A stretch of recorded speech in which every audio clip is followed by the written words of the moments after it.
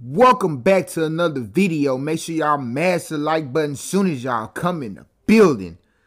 Chris Brown and 3LW former member Kiely Williams had a back and forth going at it. And it stems from when Chloe Bailey and Chris Brown was putting out their little promo for their song that's coming up. And Kiely Williams went to social media to let it be known that she doesn't appreciate black women supporting him after what he did when he did to Rihanna. That he's still known for that. And it's disgusting to her that when black women are still trying to co-sign for him. It makes her sick to the stomach.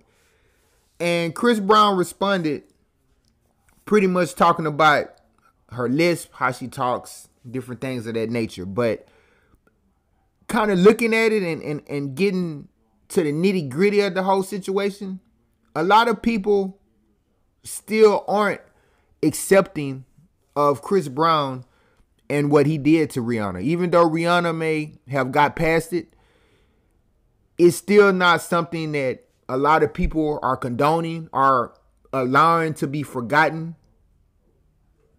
Because if you know he's not able to perform at certain venues, certain events, and a lot of people after the Rihanna Super Bowl performance was saying like, man, it would be great if Chris Brown performed there, but after that situation and what he did, especially with Jay-Z running the whole performance arena for the Super Bowl, Chris Brown would never be performing there.